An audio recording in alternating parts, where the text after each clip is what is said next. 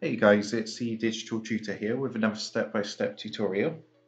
And in today's video, I'm just going to show you how to improve the stream quality in Discord. And this is a great little tip that works in 2021. Um, something, something that I've found and I now use. So if you find this helpful today, please drop a like and leave a comment below. And don't forget to subscribe to the channel for more step-by-step -step tutorials, how-tos and tips and tricks for everything tech and digital related. So if we open up the Discord app, and I've got that open and logged in at the moment, and what I'm going to do is just go down and click onto my user settings down here. And on the menu on the left hand side, we want to come across and click onto voice and video.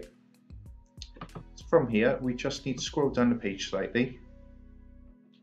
And you'll see under the advanced settings, uh, there's here where it says video codec and what you need to do is click the tick here and it's going to turn both of these off. So what, what happens, this actually uses your GPU um, for when you're streaming, but your GPU might not be able to handle playing a game and streaming at the same time.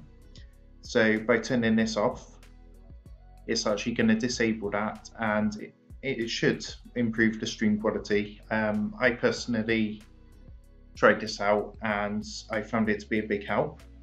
Um, so yeah, if you do find that helpful, drop a like and leave a comment below. And if you do want to support the Digital Tutor channel further, there is a link in the video description below where you'll be able to buy the team here a cup of coffee. Thanks for watching and I'll see you in the next one.